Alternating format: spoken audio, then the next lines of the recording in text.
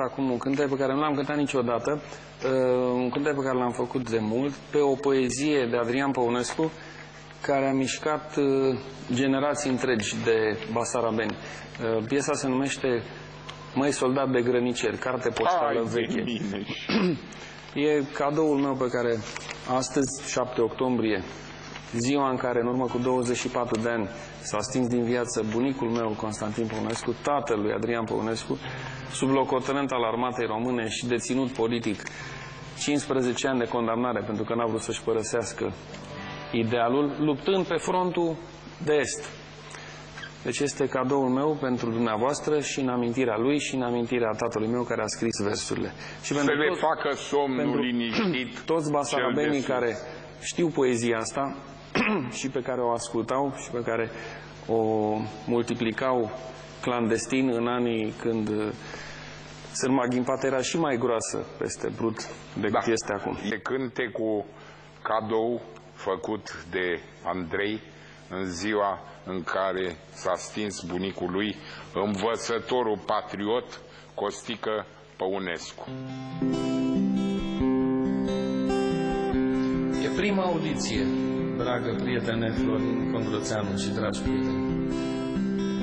Măi soldat de grănice, de dincolo de hotar, aș veni la piept să-ți sar, că noi, frate, suntem veri, maicile ne sunt surori, măritate în două părți, și noi doi trăim pe hărți, vere cum să mă omori.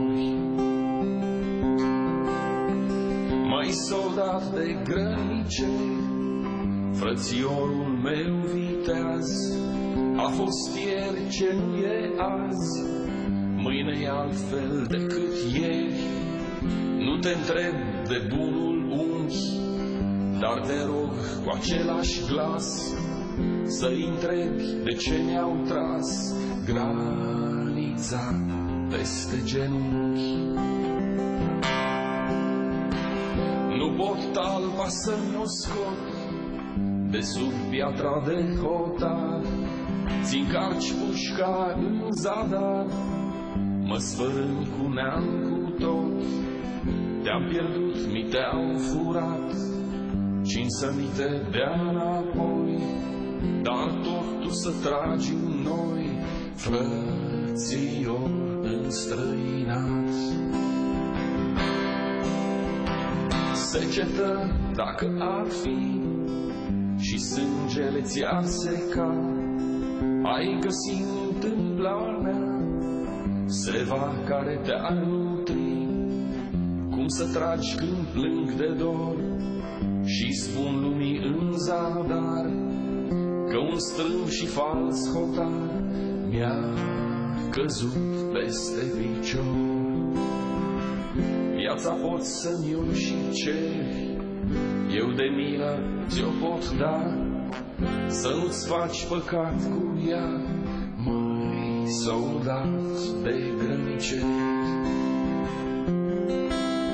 Măi soldat de grăniceri.